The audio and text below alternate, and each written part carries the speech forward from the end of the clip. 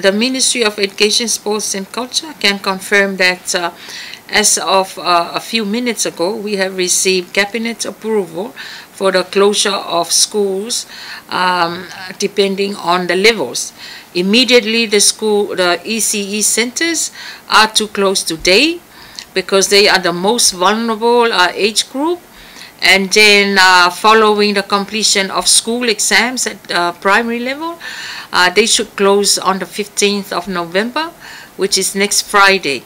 We have already finished the national examinations for a primary level uh, involving years 2, 4, 6, and 8. Uh, but this week and next week uh, should give enough time to the teachers to do their school exams for all of the eight levels. Mm. Now, for the senior secondary schools, the exams do not happen until November 7th and onwards. So, uh, it has been approved that when they finish those exams, they should uh, close off on the 29th mm. of November. Mm. Um, the, um, the immediate move by the Ministry of Education indicates that a concern on the outbreak of measles in Samoa. Well, uh, we are all concerned as a nation because measles is contagious, mm. and uh, once you uh, are suspected of uh, having the symptoms, then the best option will be for students to stay home, uh, and not only stay home, but they should be taken to see a doctor, and they should uh, be confined. Um, home so that they do not affect other students. Mm. So it is really the public's responsibility to make sure that their children are looked after and that they're taken care of by seeing a doctor if they demonstrate symptoms.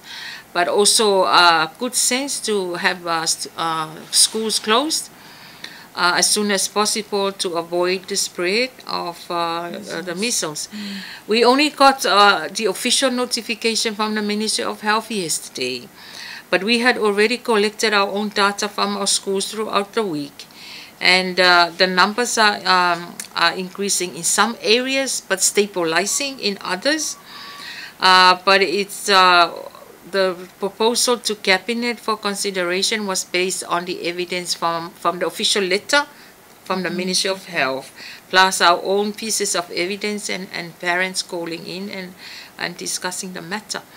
So it is good that uh, cabinet has approved and everyone now understands the need for mm. early closure of schools for the children. But the teachers of governments are still to report to their schools until the 13th of December because they will have programs to uh, to do uh, until uh, the, the usual closure of schools on the 13th of December.